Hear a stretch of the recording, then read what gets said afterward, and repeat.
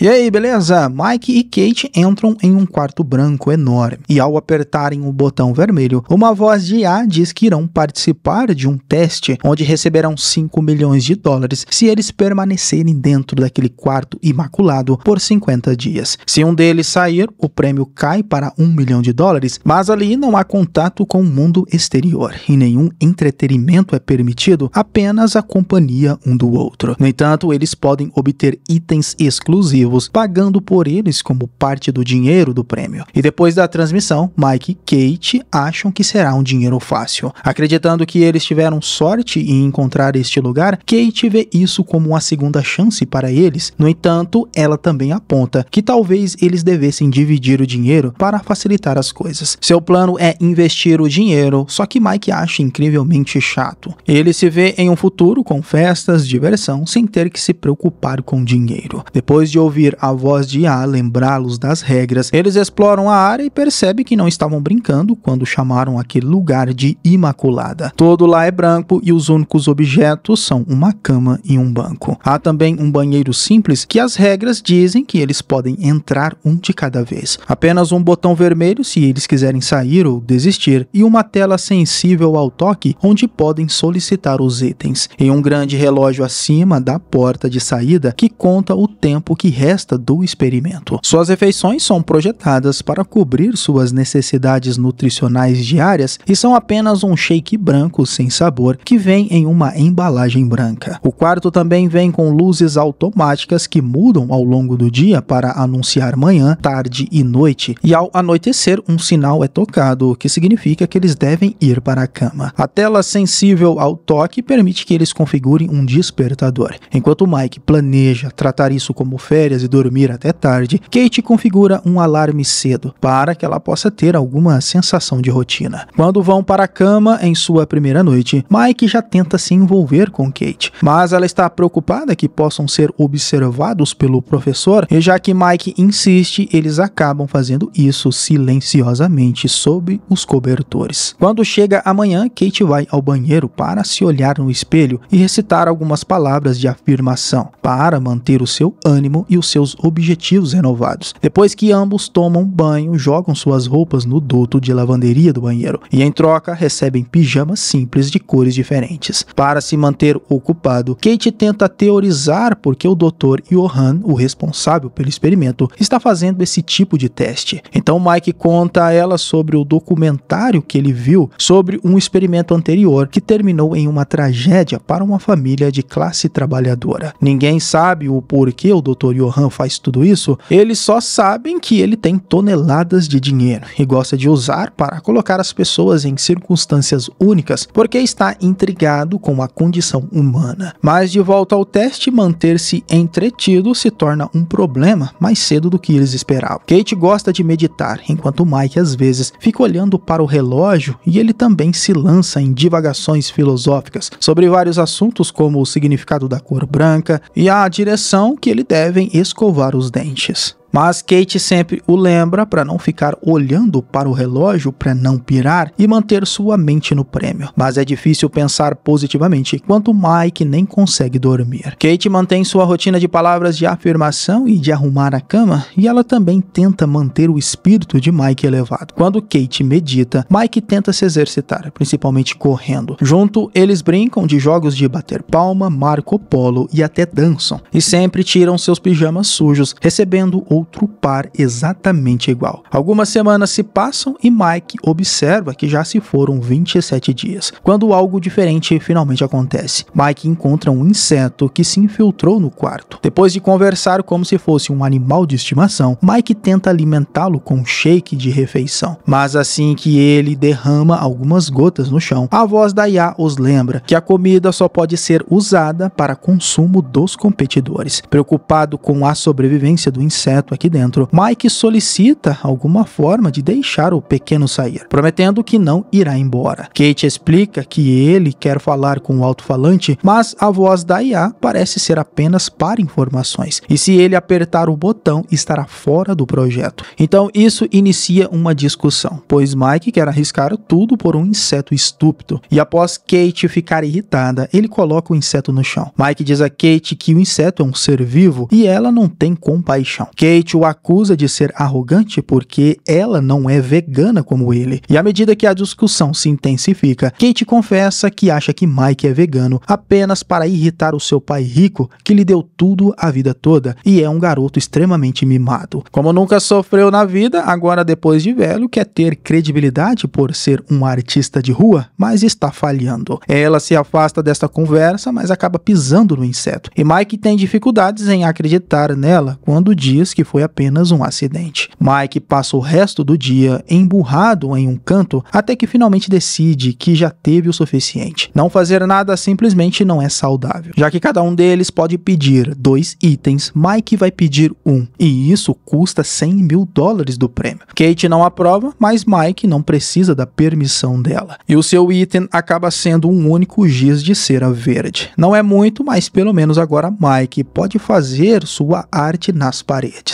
Depois de assistir ele desenhar por um tempo, Kate pede para ele desenhá-la. Mike aceita, no entanto, ele não faz retratos realistas porque são chatos. Ele prefere manter sua essência na arte. Só que Kate já acredita que ele não quer fazer isso porque quer desenhá-la com seus defeitos e outra discussão surge e ela sai. Então Mike desenha até que não reste mais giz de cera, irritando Kate quando ele deixa manchas verdes por todo o banheiro e a toalha no chão. Mais tarde, Kate se desculpa por ter se comportado mal e explica que isso é mais difícil do que ela pensava. Mas pelo menos só faltam 20 dias. Mas os dias continuam a passar em um tédio gigante, até que uma manhã Kate acorda e encontra uma arma no banheiro. Os dois têm medo demais para verificar se está carregada e sua presença é assustadora. Então eles decidem escondê-la debaixo da cama, porque a IA os proíbe de colocar objetos que não sejam roupas dentro do duto da lavanderia.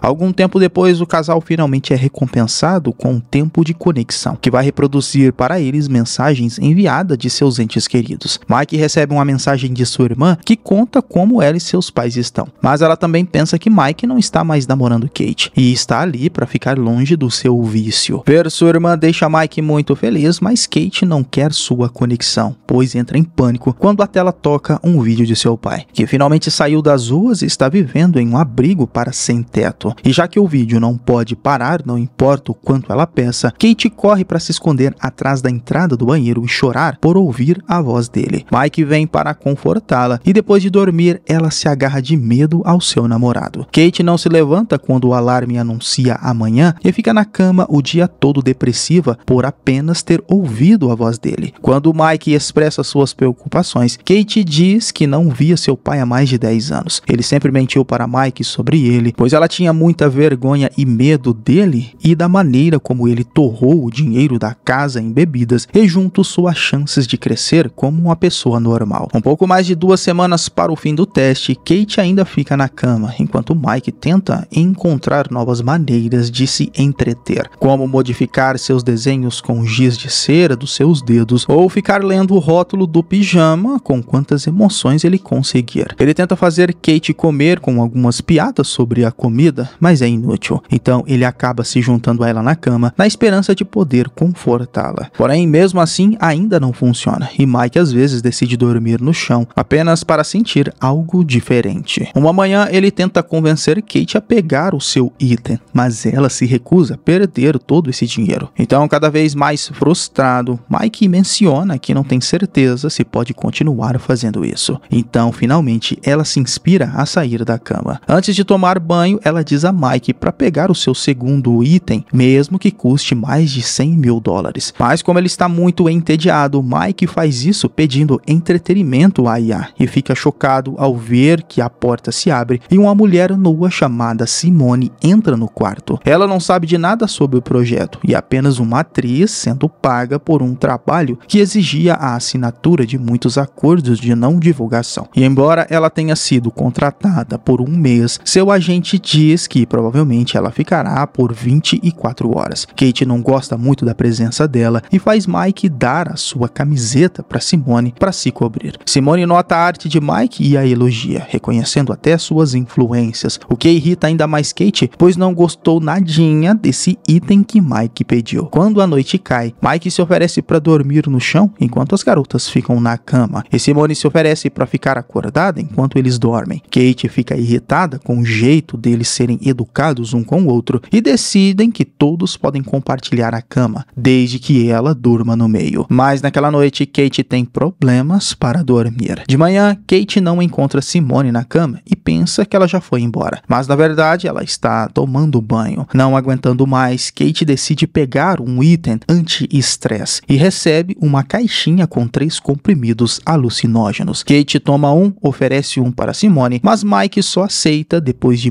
muita hesitação. Os três começam a dançar e se agitar pelo quarto. Eles também compartilham alguns beijos em grupo, aproveitando toda a alucinação. No entanto, depois de um tempo, Mike começa a ter uma viagem ruim, vendo sangue por toda parte e sonhando que está debaixo d'água, enquanto vê seu irmão mais novo cair com ele. As mulheres trazem Mike de volta à realidade, mas ele ainda está em pânico e pedindo para sair enquanto menciona algo sobre Shaw e o afogamento. Kate tem que arrastá-lo de volta para a e confortá-lo até que ele adormeça. Depois Simone pergunta a Kate o que Mike estava falando. Kate diz que o irmãozinho Mike de Shaw se afogou na piscina da família, enquanto Mike deveria estar cuidando dele. Por esse motivo, ele se sente culpado até hoje. No entanto, naquele dia, Mike estava drogado quando isso aconteceu, o que adiciona a lesão e explica por que ele hesitou em aceitar o comprimido. Simone também pergunta como eles se conheceram. Kate lembra com carinho de como, em um dia chuvoso, ela não tinha guarda-chuvas e Michael veio até ela, oferecendo-se para pegar todas as gotas de chuva para que ela não se molhasse. Quando Mike finalmente acordou, Simone compartilha que perdeu sua mãe quando era criança e os dois se unem por causa do luto dos entes queridos. Simone pega a mão de Mike para confortá-lo e quando Kate vê, ela confunde as coisas, pensando que Simone quer roubar seu namorado. Simone critica sua atitude, apontando que Kate reage assim porque na verdade é uma pessoa insegura. E isso inicia uma discussão e Mike grita para elas pararem e se afastar. Então Kate tenta se desculpar, admitindo que provavelmente não foi nada o que viu. Mas Simone atiça as chamas, dizendo que talvez tenha sido sim. Na manhã seguinte, Mike não está se sentindo bem, mas Kate está concentrada em outras coisas. Simone finalmente se foi, mas também há uma mensagem dela na parede com giz agradecendo Mike pela noite selvagem que tiveram juntos. Kate se desespera não ouvindo Mike que explica que não fez nada e isso é como a arma, algo que o quarto está fazendo para mexer com a cabeça deles. Em sua raiva, Kate empurra Mike para o chão, fazendo com que ele machuque a cabeça e sangre. Mike se afasta dela, lembrando-se de que nunca a traiu. Mesmo quando ela se mudou para Nova York, ele também parou de ver seus chamados amigos ricos para não deixá-la desconfortável. E não terminou a faculdade para ficar em casa com ela quando estava deprimida. E ainda assim, o que ele recebe em troca é uma crise de ciúmes da parte dela. Chorando, Kate continua a se desculpar, mas a conversa deles é interrompida quando Mike começa a se sentir tonto por causa do ferimento. Ele realmente acha que precisa de um médico, mas Kate traz a ele um pouco de shake da refeição para que ele possa colocar um pouco de açúcar em seu sistema e cobre seu ferimento com uma toalha. Lembrando de Mike que o contrato dizia que não haveria médico. Mike não acredita no que está ouvindo e começa a se perguntar se Kate realmente se importa. Mas seu ferimento acaba sendo pequeno e eventualmente para de sangrar. Mas ele tem medo de até onde ela teria ido se fosse pior. E talvez Kate o tivesse deixado sangrar por dinheiro. Odiando o que este lugar fez com eles e percebendo que o dinheiro não vai consertar o quão quebrados eles estão agora, Mike decide sair. Kate recusa e aponta que é fácil para ele, pois ele sempre foi rico e teve dinheiro, ao contrário dela. E para ameaçá-lo, ela pega a arma e aponta para Mike. No entanto, ele ignora e pressiona o botão. Mesmo ela tirando para cima, finalmente deixando o quarto apenas 16 dias antes da vitória. Depois de ficar deitada por dias e se desesperar no chuveiro, dois dias antes de tudo acabar, Kate vê o desenho da gota de chuva na parede, inspirando-se a aproximar do botão também e sair do teste. Porém, meses depois, Mike está fazendo uma corrida quando vê Kate saindo de um prédio. Ele fica surpreso, pois não se viam desde o quarto imaculado e ela estava visitando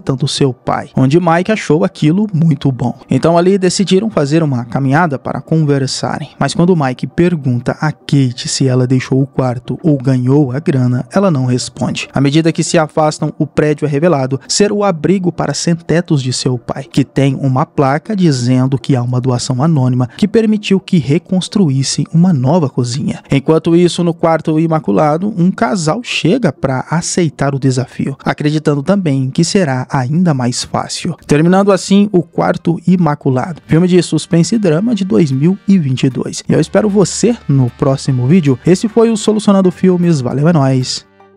Fui.